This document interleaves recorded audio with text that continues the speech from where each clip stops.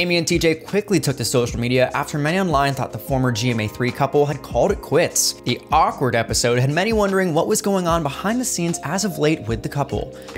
We are still together. yes, this video, which was shared again to both Instagram accounts of the news personalities, addressed the speculation that was swirling around the internet. The two noted in the caption, quote, we're still together. Our larger goal in putting out our latest episode was to show that yes, we like to put pictures of us smiling like everyone else and laughing on social media, but if we want to be real and we want to be transparent, we wanted to show all the sides uh, of us and, and I would say most relationships. So we hope that you all get something out of it, and um, we hope you keep coming back.